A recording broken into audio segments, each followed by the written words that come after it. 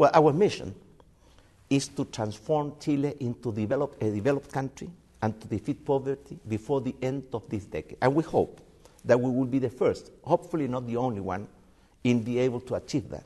How to do that? Well, we are really, we have realized that we have to be integrated to the world. We have to compete with the world. And that's why we have free trade agreements with the US, with Europe, with China, with India, with Japan, with Korea, you name it. And as you now move towards things like the, uh, the digital and the knowledge based economy, I know you take a great interest in, for example, Startup Chile, which I went to visit yesterday and I've been following closely. What is it about Startup Chile? Because the critics say it throws money away and doesn't necessarily give any long term benefit. Or is that just short sightedness? It is short sightedness. I think that being able to import and bring to Chile people that have good ideas, entrepreneurship capacity, to be here and, and, and, and, and start a business here, they, what they will learn and what they will teach to our people is very, very valuable.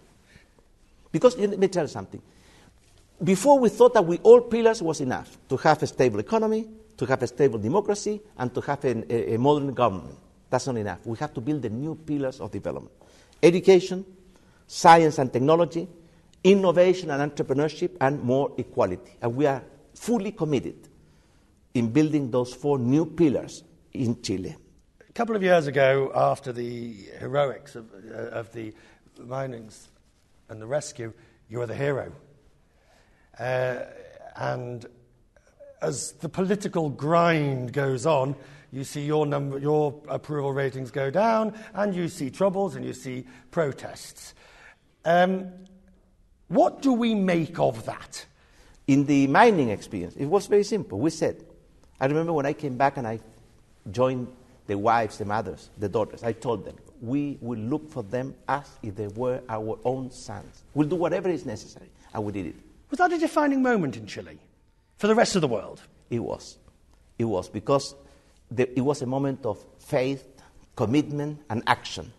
As you look at your contribution to Chile, of what you brought from the business environment and what you've put into the political environment, what would you hope people say? For the last 20 years, I have allocated all of my time, my efforts, and my scarce talents to improve the quality of life of the Chilean people.